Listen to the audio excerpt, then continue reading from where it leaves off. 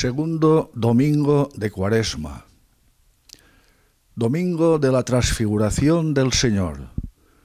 Este Evangelio de la transfiguración ya es clásico para estos segundos domingos de Cuaresma. El Señor elige a Pedro, a Santiago y a Juan y les invita a subir con él a la oración hasta lo alto del monte Tabor. y es que subir a la montaña en la Sagrada Biblia significa siempre estar muy cerca de Dios.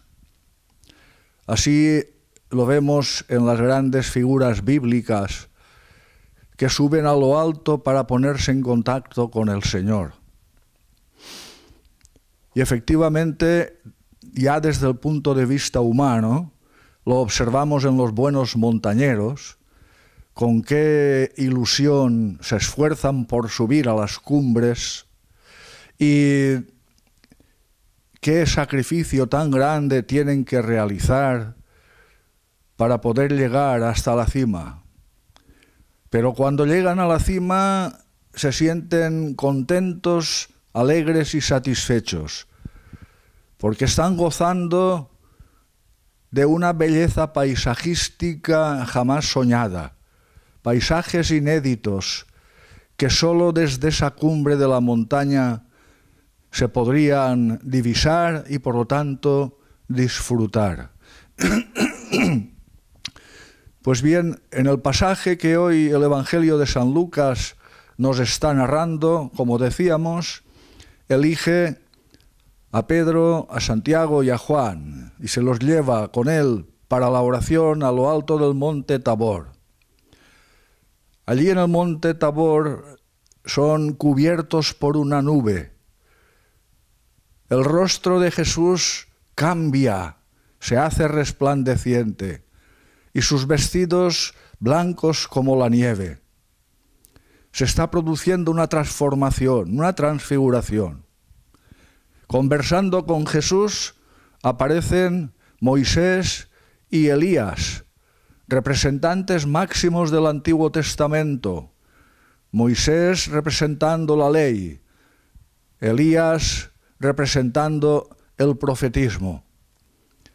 Ambos con esta misma experiencia de subir a lo alto. Moisés en el Sinaí estuvo en contacto con Dios. Elías en el Monte Carmelo estuvo en contacto con Dios. Y en este diálogo con Jesús le hablan de su éxodo hacia Jerusalén. Éxodo hacia Jerusalén en el que al final allí en Jerusalén, en el Monte Calvario, culminaría la misión salvadora que el Padre le había encargado. Así que referencia clara al presentarnos el evangelista a Moisés y a Elías, referencia clara a que el cumplimiento de toda esa ley y de todo cuanto anunciaban los profetas iba a realizarse en la persona de Jesús. Surge desde la nube también la voz del Padre. Este es mi Hijo, escuchadle. Lección grandiosa para nosotros, para nuestra vida y sobre todo para este tiempo cuaresmal en que tratamos de escuchar al máximo la palabra de Dios. Están allí y San Pedro no se le ocurre decir otra cosa Qué bien se está aquí, Señor. Claro que se está bien. ¿Cómo no va a estarse bien si están contemplando la gloria de la divinidad? En realidad, lo que ha hecho Jesús ha sido hacerles un adelanto de la Pascua, de la gloria de la Pascua. Y esto lo van a agradecer mucho los apóstoles. Pero la visión termina y tienen que bajar de la montaña. Tienen que bajar por dos razones. Porque ese éxodo de Jesús ese caminar de Jesús hacia Jerusalén todavía no había concluido. Y en cuanto a los apóstoles, tenían que seguir caminando para poner en marcha con todo esfuerzo y, sufrimiento, pero también con toda la fuerza de Cristo resucitado, la obra de Jesucristo, la obra de la Iglesia.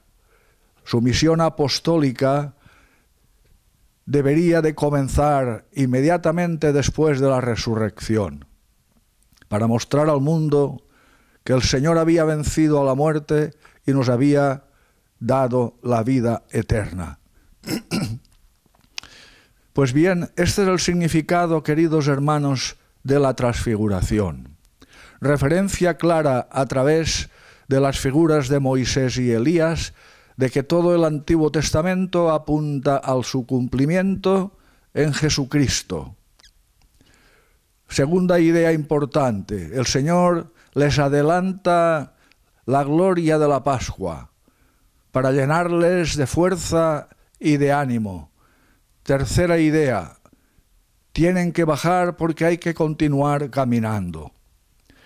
Pues del mismo modo, queridos hermanos, la Iglesia, al situarnos en este segundo domingo de Cuaresma, este Evangelio de la Transfiguración, lo que ha querido es también animarnos a todos nosotros Vamos a vivir en la Eucaristía de este domingo esta actitud de transformación y de transfiguración, porque el Señor será presente con su palabra y lo escucharemos, y se hará presente con su pan eucarístico, su cuerpo y su sangre, que nos alimentará y nos dará fuerza para seguir el camino cuaresmal hasta llegar al momento culminante de vivir la gloria de la resurrección. Es pues un domingo muy bonito y apasionante. Mirad, os he puesto en la presentación tres fotografías que hacen referencia también a la montaña. En las fiestas patronales, la semana de las fiestas, dedicamos un día a una actividad distinta en honor de la patrona. Hay un día que lo dedicamos a hacer una marcha. Pues bien, este año se decidió marchar hacia lo alto del monte hasta la cruz del caminante, con el fin de bendecir esta cruz del caminante. Como veis, es un buen número de personas. Había personas mayores, había también niños, toda clase de personas. Iniciaron la marcha una marcha dura, pesada, pero lo hicieron con ilusión y con alegría y subieron hacia arriba.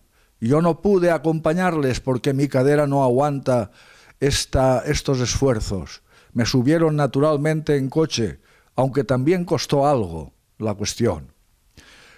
Una vez llegamos a la cumbre, estábamos allí todos, y aquello era extraordinario. Nos sucedía como a los montañeros.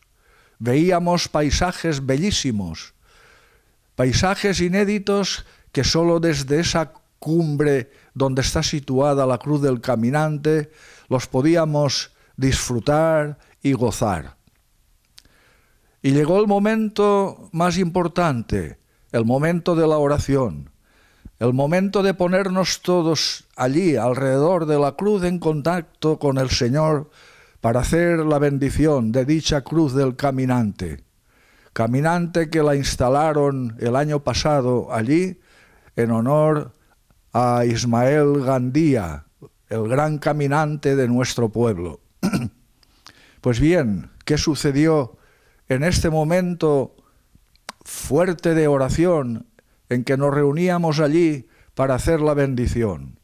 Se creó un silencio impresionante Allí habría personas de mucha fe y personas quizá más ranqueantes en la fe. Pero la respuesta fue muy unánime. Respeto total, pleno y absoluto. Un silencio tan grande que hasta se podía cortar. Solamente se escuchaban los trinos de algunos pájaros que volaban por alrededor nuestro en los árboles o en, en las ramas que hay por allí. También podíamos escuchar un poco la brisa del viento que siempre suele soplar más en las cimas. Pero como os digo, el ambiente de oración era palpable. Se notaba que algo extraordinario estaba pasando. Se notaba que de alguna manera todos estábamos siendo transfigurados y transformados, porque estábamos allí para estar cerca de Dios, para orar y dialogar con Dios, para que el Señor estuviera allí y dirigiera nuestra mano para la bendición de la Santa Cruz del Caminante. Así lo hicimos. Terminada nuestra plegaria y nuestra oración, pues sucede como sucedió a los apóstoles en el Tabor. Había que bajar del monte, porque por muy bien que estuviéramos allí, había que pisar terreno firme y nuestro camino tenía que continuar. La marcha de la vida tenía que continuar. Pero las fuerzas que el Señor nos había mostrado allí en el monte nos iban a ayudar a caminar este camino nuestro de la vida en dirección siempre hacia la meta final que es la cumbre de nuestra esperanza, encontrarnos definitivamente con Dios, con nuestro Señor. Bajaron, bajaron, algunos resbalones, pero llegaron felizmente a la plaza del pueblo y allí lo celebraron con un almuerzo de solidaridad, de fraternidad, de hermandad y de alegría. Queridos hermanos, todo esto nos indica que nosotros ahora seguimos nuestro camino cuaresmal, pero lo hacemos con la fuerza que el Señor nos da porque nos lo ha querido regalar en este domingo de la transfiguración. Como os decía, en la Eucaristía nos transfiguraremos porque escucharemos su palabra y porque además eh, recibiremos su alimento eucarístico, lo cual todo nos llenará de fuerzas para llegar con ilusión, con alegría y con esa esperanza hasta la meta que es la Pascua y nuestro encuentro con Jesucristo resucitado. Gracias amigos por haber presenciado este vídeo y por estar con nosotros.